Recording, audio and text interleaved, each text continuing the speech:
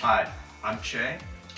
I'm the CEO of Altwork, and on today's Learning Moment, we're going to have a little discussion about the future of the desk. We had a great article in the Wall Street Journal, Journal featuring the Altwork as the future of the physical desk, along with a few other items. And we were obviously honored and intrigued by that. We've been getting a lot of questions, um, both from the press, from customers, and from other thought leaders about what do we think the future of the desk is.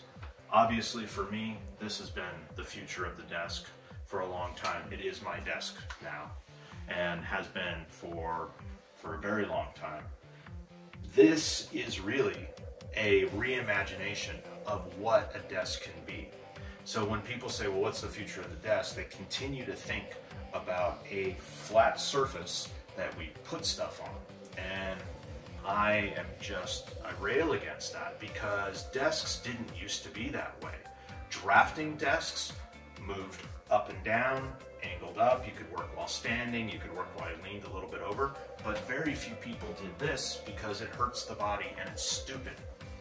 Writing desks from before we had typewriters were angled. Almost all of them were angled somewhere between here and here.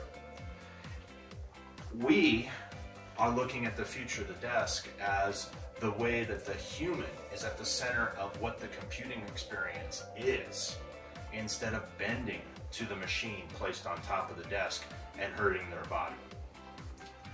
Love the article from the Wall Street Journal. And please give us your feedback about doing a longer form video on our thoughts about what the future of the desk is, what the future of remote work is, and how that's going to interact. I think there's some fantastic things that will be happening soon. Thank you.